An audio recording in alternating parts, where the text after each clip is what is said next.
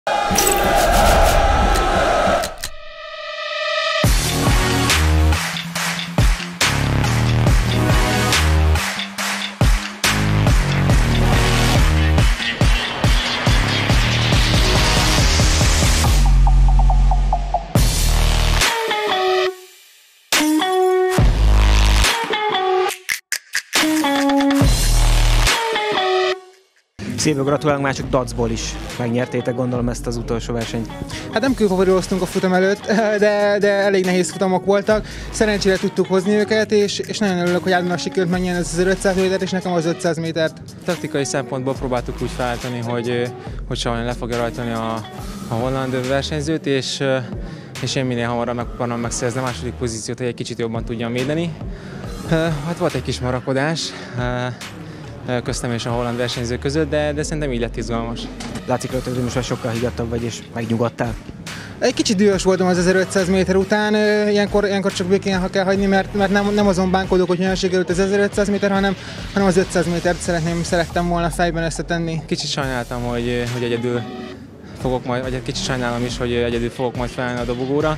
Örültem volna, hogyha Saron is mellettem tud állni mai nap teljes feszültségét és izgatottságát láthattuk abban a jelenetben, amikor az öcséd ugye megütötte a vádat a győzelem után.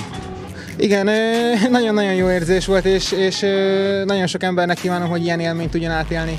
Próbáltuk hát szerényen kimutatni azt, hogy nyertünk, úgyhogy Úgyhogy nagyon tényleg fenomenális érzés, hogy tényleg ilyen, ilyen sok közönség van, vagy hát ilyen sokan vannak a, a lelátón, és, és remek közönség van, és a hangulat is, is borzasztóan jó.